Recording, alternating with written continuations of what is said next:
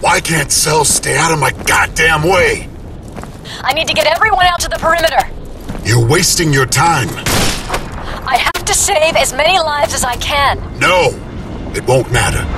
It's not gonna be like Lingshan. Archangel has a massive global energy store. They feed all that power back into the Alpha Ceph it'll punch one hell of a hole in the Earth. There'll be no Earth left. So what can we do?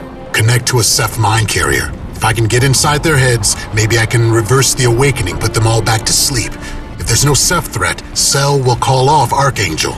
You're going to link yourself to the Ceph? Prophet, you struggled to resist their influence even when your mind was protected. We've turned those safeties off now. That means the nanites in your suit are free. That means they can transform into anything, any form imaginable. You could actually become a Ceph. That's a risk I'm willing to take.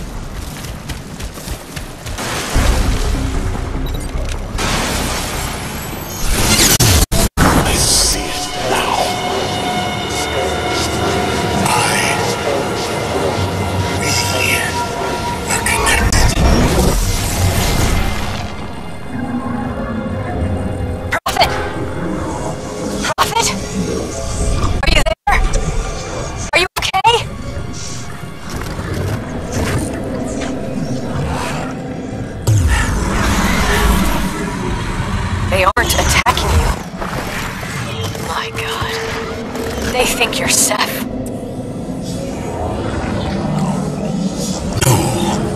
Not just Ceph.